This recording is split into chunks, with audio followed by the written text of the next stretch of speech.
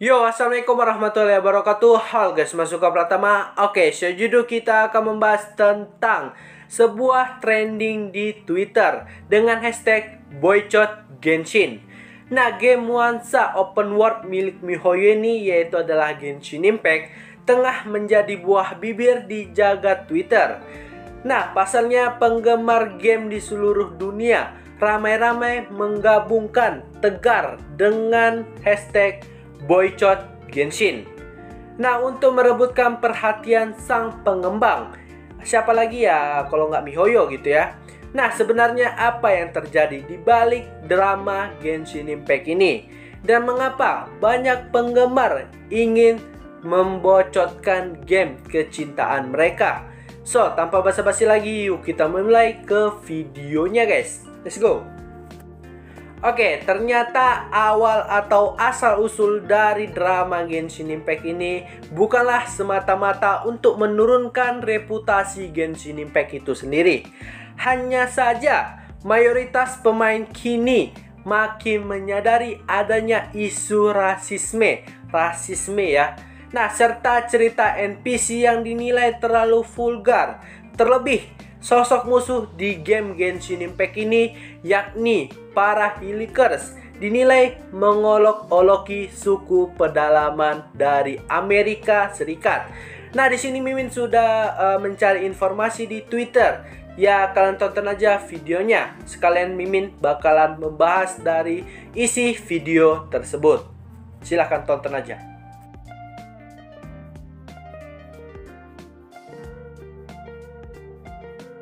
Nah, di sana waktu Mimin baca-baca ya ada yang bilang itu dimirip-miripkan dengan suku pedalaman Amerika ya katanya. Tapi ya rasa Mimin itu terlalu dilebih-lebihkan ya kayak disengaja aja gitu ya.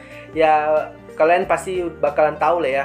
Nah, untuk dari kenapa itu dibu dibuat dengan rasisme ya bisa dibilang atau rasis ya kalian pasti udah nyadar aja di tem tempat ya di sampingnya Hilikars itu ada video tentang ya kayak video uh, suku pedalaman lah ya. Kalian cek aja video yang tadi ya atau udah mimin taruh aja langsung fotonya. Oke kita lanjut. Nah selain masalah Hilikars yang udah tadi Mimin sampaikan Ada beberapa fans yang juga menyoroti salah satu kasus pedofilia yang katanya adalah di dalam gen Genshin Impact itu sendiri. Nah, kalian yang tengah mencari tanaman yang dikumpulkan biasanya mengunjungi Flora, seorang gadis kecil yang gemar mengumpulkan bunga di alam liar.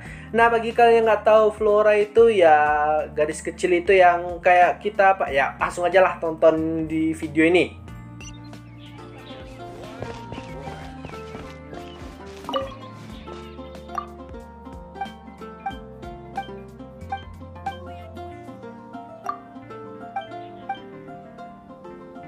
Nah, dikatakan bahwa ada seorang NPC ya, bisa dibilang NPC-nya kayak udah tua gitu lah bisa dibilang.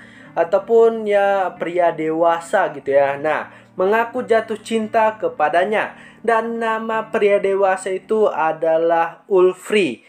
Ya gitu ya, kalau mohon maaf kalau salah mohon dikoreksi saja ya penyebutan namanya dan itu mengangkat isu pedofilia yang sangat sensitif di game Genshin Impact itu sendiri. Padahal itu kayak ya bisa dibilang kayak dilebih-lebihkan lah gitu ya. Dan ya Mimin juga masih nggak tahu ya entah siapa yang menyebarkan pertama itulah ya. Atau katanya orang Amerika atau bule katanya ya. Tapi ya Mimin nggak usah bilang aja lah gitu ya. Oke, selanjutnya jaga Twitter pun diramaikan kala beberapa streamer atau YouTuber ikut berkomentar. Tapi tak sedikit yang membela Genshin Impact dan mengatakan bahwa Hillikers juga bukanlah sosok jahat sesungguhnya di game tersebut. Nah, sementara itu babak cerita yang ada di game tersebut hanyalah murni sebagai fantasi saja dan tidak layak dianggap berlebihan. Oke, selanjutnya ya kita bakalan ya kayak membaca-bacakan uh, komentar-komentar di Boycott Genshin. Uh, maksudnya Boycott Genshin ya. Ya, langsung aja ke tentang pembacaan komentar di Twitter. Nah, yang pertama ada Febrito yang mengatakan bahwa mungkin si bule gacanya lagi ampas tuh sampai dibikin boycott Genshin. Hahaha. Tinggal uninstall aja kalau nggak suka gamenya. Kok repot? Hahaha. Ya betul juga sebenarnya. Ya gitulah ya. Oke, komentar yang selanjutnya dari Sontol dengan hashtag boycott Genshin. Bacot lu bulek, udah goblok nyalain Mihoyo pula. Lu yang rasis, Mihoyo yang disalahin. Situ sehat. Hmm, gitu juga ya bagus sih anjir komentarnya tapi ya nggak usah uh, komentarnya pedes-pedes banget ya bos. Oke, komentar selanjutnya dari Unkenal Person Hashtag boycott Genshin Dengar, katanya ada bule yang mempersalahin desain. Uh, desain maksudnya ya. Hilikars yang mengambil dari suku asli Amerika. Buset dah itu pertama kali main itu atau perta uh, pertama kali kenal game itu atau gimana katanya. Ya, cukup bagus. Oke, selanjutnya dari Haruki. Translate hashtag Genshin Bagaimana bisa Surume seharusnya menjadi campuran budaya India dan Timur Tengah? Keduanya adalah budaya yang sangat berbeda. Mihoyo mencampurkannya bersama-sama benar-benar aneh. Ya, siapa tahu terinspirasi gitu ya kan. Jadi ya ngapain harus diperdebatkan gitu. Oke, selanjutnya dari Les. Mempelajari yang bisa kita ambil dari kejadian Aztec Boycott Genshin. Kali ini Manusia adalah sosok yang suka mencari kesalahan orang lain ya bisa dibilang gitu ya. Nah sebanyak apa pun kesalahan atau kelebihan sesuatu Pasti manusia akan menemukan kekurangannya Dan tidak akan puas manusia sebelum mendapatkan kesalahan dari suatu hal tersebut atau hal orang lain gitu ya. Jadi ya komentar ini cukup bagus saya bisa dibilang ataupun komentar yang positif dari komentar-komentar sebelumnya gitu ya. Nah di sini Mimin juga suka komentar dari Les ini dan ya memang ya bisa dibilang gitulah ya trending-trending sekarang. Nah mengenai hal itu ya banyak juga yang berpendapat bahwa tegar atau hashtag Baichot Genshin meruak kelataran Mihoyo dikabarkan menunda updatean dari region baru yaitu adalah Inazuma. Nah, mayoritas penggemar yang telah bosan mengunjungi Liwe dan Mostet uh, berulang-ulang kali gitu ya, sangat menantikan kehadiran wilayah baru.